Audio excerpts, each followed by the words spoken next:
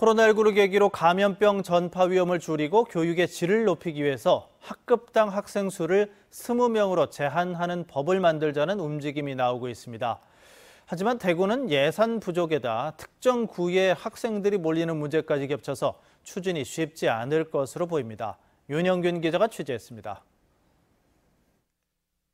대구의 초등학교 학급당 학생 수는 23.5명, 전국 평균보다 0.6명, OECD 평균보다 2.4명 정도 더 많습니다.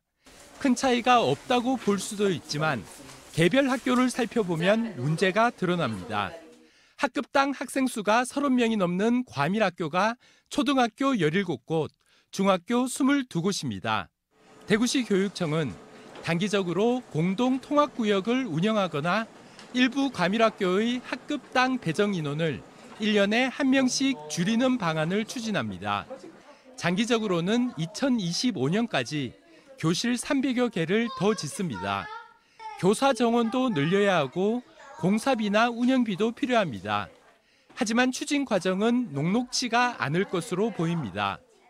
특히나 교원 같은 경우에는 어, 교원 정원을 교육부에서 승인을 받도록 그렇게 되어 있거든요.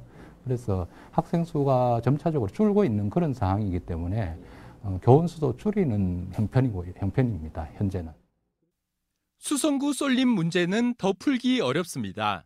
학급당 학생 수가 30명이 넘는 초등학교는 수성구와 달서구가 절반을 넘게 차지합니다. 제 뒤로 보이는 초등학교의 학급당 학생 수는 37.5명으로 전국 초등학교 가운데 두 번째로 많습니다. 중학교의 경우는 수성구의 절반 가까이 몰려 있습니다. 대구시 교육청은 2026년까지 학교 4곳을 더 짓는다는 계획을 세웠지만 수성구는 한 곳도 없습니다.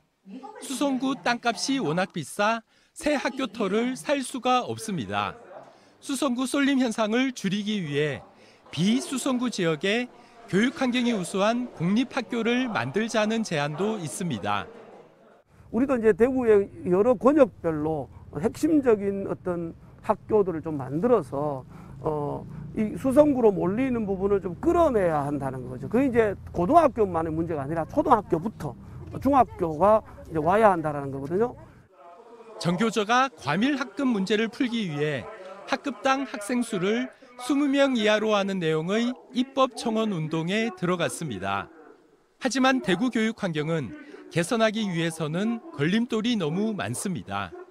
MBC 뉴스 윤영균입니다.